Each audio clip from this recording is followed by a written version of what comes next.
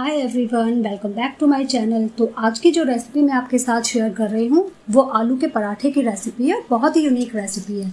तो फ्रेंड्स ये unique recipe इसलिए है क्योंकि इस आलू के पराठे को बनाने के लिए ना तो मैंने आलूओं को उबाला है, ना आलूओं को काटा है, ना ही आलूओं को छीला या मैश किया है। फिर भी मैंने आलू का पराठा बनाकर तैयार कर लिया है। तो कैसे मैंने इस पराठे को बनाया है? इस रेसिपी को देखने के लिए आप मेरी वीडियो को ज़रूर देखें।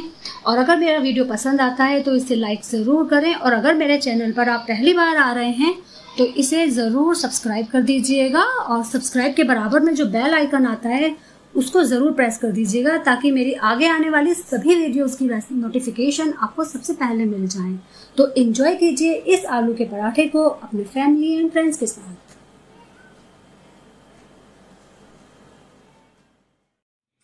तो आलू का पराठा बनाने के लिए हमें इन इंग्रेडिएंट्स की ज़रूरत होगी। यहाँ पर मैंने लिया है एक कप गुंदा हुआ आटा। गेहूँ का आटा है, ये वही नॉर्मल आटा है गुंदा हुआ, जो कि घर में हम यूज़ करते हैं पराठे और रोटी बनाने के लिए। फोर्थ टेबल स्पून देसी घी का इस्तेमाल यहाँ मैं कर रही हूँ। आप चाहें तो रिफाइंड ऑयल भी यूज़ कर सकते हैं। और यहाँ कुछ मसाले लिए हैं मैंने, जैसे कि one fourth teaspoon garam masala powder one fourth teaspoon red chili powder, या आप हसबे जायका भी ले सकते हैं। One fourth teaspoon salt इसको भी आप हसबे जायका ले सकते हैं सॉल्ट को। One fourth teaspoon chaat masala powder, half teaspoon भुना ज़ीरा पाउडर, वन टी स्पून अमचूर पाउडर, एक ग्रीन चिली लिए मैंने यहाँ पर, जिसे बारीक चॉप कर लिया है, और हाफ़ स्मॉल साइज़ की अनियन लिए, इसको भी बारीक चॉप कर लिया है। वन हैंडफुल कोरिएंडर लीव्स तो आइए बनाना शुरू करते हैं आलू का पराठा। तो फ्रेंड्स आप कहेंगे कि यहाँ आलू तो नज़र ही नहीं आ रहे हैं और आलू का पराठा बन रहा है। तो आप सही कह रहे हैं, यहाँ मैं आलू का इस्तेमाल नहीं कर रही हूँ, ना तो आलू को काटूँगी मैं, ना ही छीलूँगी, ना उबालूँगी। और फिर भी हमारा आलू का पराठा बहुत ही अच्छा बनेगा। तो जो मेन इंग्रेडिएंट का मैं यूज़ कर रही हूँ, वो इंग्रेडिएंट है हमारा ये आलू के चिप्स तो यहाँ मैं दो पैकेट लेस के आलू के चिप्स बनाने में इस्तेमाल कर रही हूँ। तो सबसे पहले इन्हें हमें बाउल में निकाल लेंगे चिप्स को। तो ये देखिए फ्रेंड्स यहाँ हम ये चिप्स निकाल लेंगे लेस तो ये सॉल्टेड चिप्स हैं जिनका मैं यूज़ कर रही हूँ। ये देखिए तो कभी कभी क्या होता है कि घर में आलू के पराठे खाने को मन करता है और फिर ये सोचते हैं कि भाई आलू को उबालना पड़ेगा, उन्हें फिर छीलना पड़ेगा, फिर मैश करना पड़ेगा। तो आप इस तरीके से झटपट से आलू के पराठे बना सकती हैं। तो यहाँ मैंने गर्म पानी लिया है एक कप। मैं इसको डाल दूँगी। थोड़ा थोड़ा करके पानी को हमें मिलाना है इसमें। तो यहाँ पर मैंने एक कप पानी गर्म किया हुआ इन चिप्स में डाल दिया है और इसको हम ढककर रख देंगे तकरीबन पाँच से सात मिनट के लिए। तो देखिए फ्रेंड, सात मिनट तकरीबन इसे रखे हुए हो गए हैं और ये अच्छे से इन्होंने पानी को सोख कर लिया है। और ये देखिए इन्हें अब हम मैश करेंगे तो स्पैचुला का यूज़ करेंगे मैश करने में, ताकि अच्छे से ये मैश हो जाए तरह से। तो है ना कितना आसान? ना तो हमने आलू को उबाला है, और ना ही आलू को छीला है, और इतनी जल्दी हमारे ये आलू के पराठे बनके तैयार होंगे। बहुत ही फटाफट से। तो अच्छे से इसे मैश करेंगे हम। तो ये देखिए, आलू को अच्छे से हमने ये जो चिप्स थे इनको मैश कर लिया है। ये देखिए। और अब इसके अंदर हम ऐड करेंगे जो आलू के पराठे में मसाले डालते हैं, वही मसालों का हम यूज़ करेंगे यहाँ पर। तो ये सारे मसाले डाल देंगे हम। Garam masala powder red chili powder salt chaat masala powder भुना ज़ीरा पाउडर और ये अमचूर पाउडर तो सारे वही मसाले हमें यूज़ करने हैं जो हम आलू के पराठे बनाने में यूज़ करते हैं। और प्याज और हरी मिर्ची थोड़ी सी कोरिएंडर लीव्स और सबको अच्छे से मिक्स कर लेंगे हाथों से। तो सारे मसाले मैंने अच्छे से मिक्स कर लिए हैं। तो देखिए फ्रेंड्स कोई कह भी नहीं सकता है कि ये मसाला जो हमने तैयार किया है आलू का भरता, आलू के पराठे के लिए तो ये हमने यहाँ पर चिप्स का यूज़ किया है आलू के। कोई भी नहीं कहेगा ये। और बिल्कुल ये ऐसा ही आलू के पराठे बनकर तैयार होंगे, जैसे कि हम आलू उबालने के बाद में पराठे बनाते हैं। तो चले, अब नेक्स्ट प्रोसेस की तरफ़ चलते हैं। तो अब हम पराठा बनाएँगे। इसके लिए यहाँ जो हमने ये गेहूँ का आटा लिया है, इसमें से थोड़ा सा पोर्शन ले लेंगे और पहले लोई बनाएँगे। तो फ्रेंड्स कभी भी बच्चों का जब दिल करता है आलू का पराठा खाने को तो कभी कभी हमें आलकस आ जाता है कि भाई आलू को उबाले, कौन आलू को उबाले, कौन छीले, कौन मैश करे और फिर मसाले मिलाए। तो इस तरीके से आप फटाफट से आलू के चिप्स लेकर उन्हें गर्म पानी में सोख कर दीजिए और बहुत झटपट से आपके पराठे आलू के तैयार हो जाएँगे बनकर। और बहुत ही ज़्यादा डिलीशियस पराठे लगते हैं ये। तो एक पोर्शन थोड़ा सा और ले लूँगी मैं।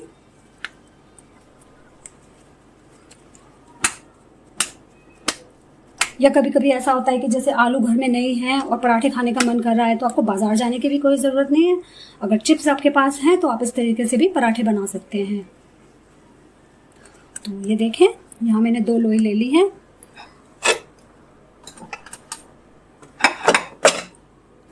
अब यहाँ मैंने ये खुश काटा लिया है, इसमें लगाएँगे अच्छे से और थोड़ा सा हाथों से इस तरीके से इसे बड़ा कर लेंगे।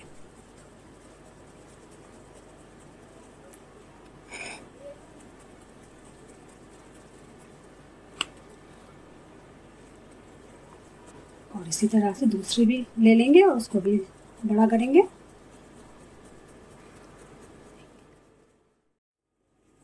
तो ये देखें, हमने ये दोनों लोई ले ली थी और इनको इस तरीके से हाथों से थोड़ा थोड़ा सा बड़ा कर लिया है। अब यहाँ पर हम जो आलू का मिक्सचर हमने तैयार किया था, उसको लेंगे। और ऐसे रख देंगे। और ज़्यादा बाहर की तरफ़ नहीं निकालेंगे, वरना तो बेलते हुए सारा जो आलू का मिक्सचर है, वो बाहर निकल जाएगा।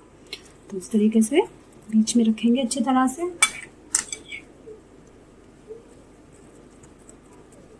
तो आलू के पराठे इस तरीके से जब बनाते हैं तो बहुत ही जल्दी बन के तैयार भी हो जाते हैं। तो बहुत कम टाइम लगता है इन्हें तैयार करने में। और ये देखें, इस तरह से मैंने लगा लिया है सारे मिक्सचर को। और कम से कम इसमें आठ से नौ पराठे दो लेस के पैकेट में तैयार होंगे बनकर हमारे, बल्कि दस। और ये देखें, ये दूसरे वाले पोर्शन को हम इस तरह से रख देंगे ऊपर से और इस तरह से लगाएँगे।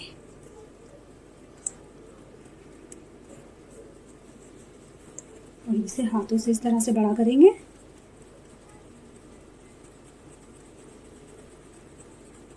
और अब यहाँ जो खुश काटा हमने लिया था, उसमें लगा, रख देंगे इसे। और थोड़ा सा प्रेस करना है हाथों से। ऐसे ही इस तरह। करेंगे पलट कर। और फिर थोड़ा सा बड़ा करेंगे हाथ से। और अब सारी खुश्की इसकी इसमें झाड़ देंगे इसे। और इसको बेलेंगे। तो पहले हम इसके जो एजेस हैं, उनको बेलेंगे। तो पराठे का साइज़ तो आप अपने अकॉर्डिंग एडजस्ट कर सकती हैं, बड़ा या छोटा।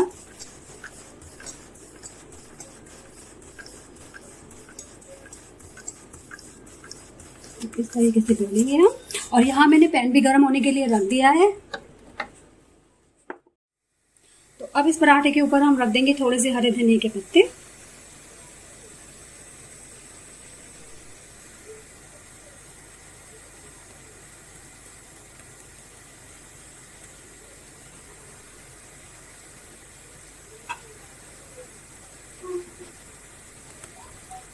और इनको हल्के हाथों से प्रेस कर देंगे ताकि ये इसमें अच्छे से चिपक जाए।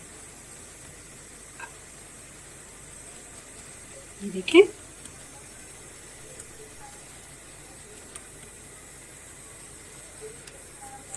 अब यहाँ हमारा पैन भी गर्म हो चुका है, बिल्कुल। तो अब हम पराठा इसमें डाल देंगे ये।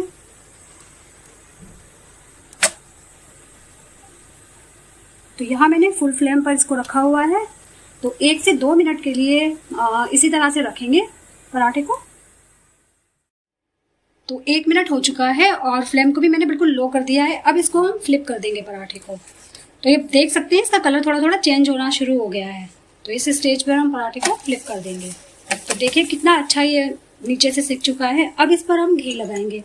तो मैं देसी घी लगा रही हूँ, उससे पराठा बहुत सौंदा बनता है। बहुत सौंधी खुशबू पराठे में आती है। आप चाहें तो रिफाइंड ऑयल का भी यूज़ कर सकते हैं।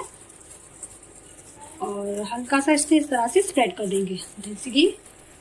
तो अब फ्लेम को हम मीडियम करेंगे।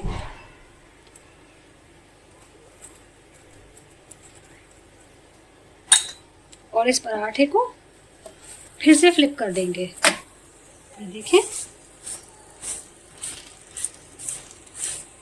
तो हल्का हल्का इस तरह से प्रेस करते हुए इसे सेकना है पराठे को हमने और अब यहाँ भी इसके ऊपर देसी घी लगा देंगे।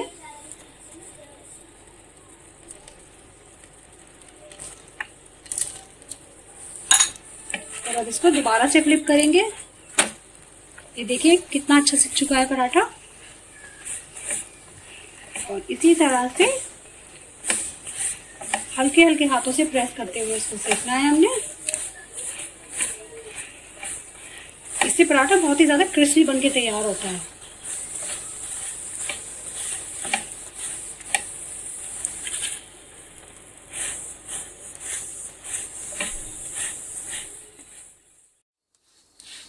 तो पराठे को सीखते हुए एक मिनट हो चुका है और ये नीचे से और ऊपर से अच्छा से क्रिस्पी हो गया है। आप खुद देख सकते हैं इसका कलर भी।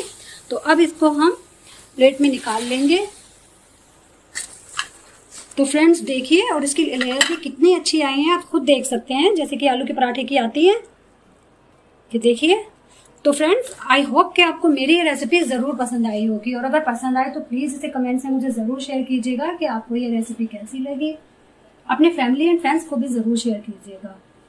And thanks for watching my video और इनशाला मैं फिर आऊँगी एक नई रेसिपी के साथ। तब तक के लिए अल्लाह हाफिज़।